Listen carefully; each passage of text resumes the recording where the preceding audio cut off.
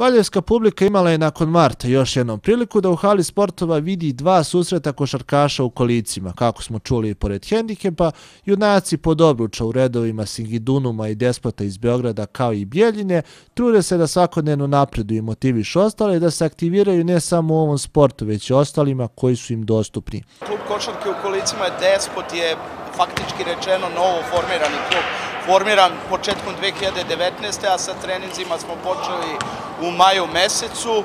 Eto, okupili smo, trenutno smo najbrojniji klub u Srbiji, e, brojimo 13 igrača, okupili smo uglavnom bazu mladih igrača i da kažem, novopečenih košarkaša u kolicima i radimo na tome da što više momaka plasiramo u reprezentaciju u neko dogledno vreme. Ja sam čovjek koji gleda pozitivno na sve, kao isto tako učim i moje momke.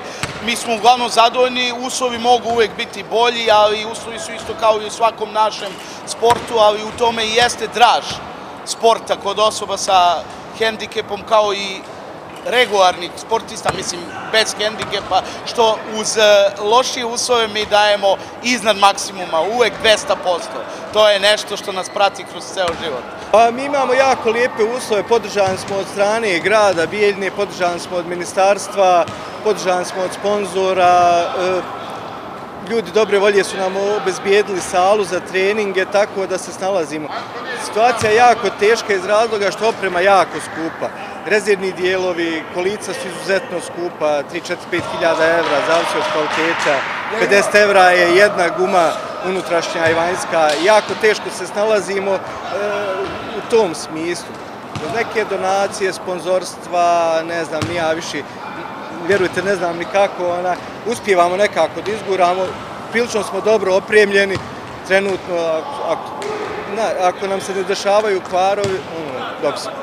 Predsjednik Saveza košarkaša u kolicima Srbije Vladimir Kuzmanović zahvalio se Valjevu na podršci, dodavši da je želja da se u budućnosti animiraju i ostali gradovi i uopšte osobe sa invaliditetom. Tu smo da e, imamo četiri kluba, Despot iz Beograda, Singidunum iz Beograda, Apatin iz Apatin, e, Dunav iz Apatina i e, Najs iz Niša, ali još postoje oni klubovi koji su zamrznuti u Novom Sadu, u Čačku, u Kraljevu.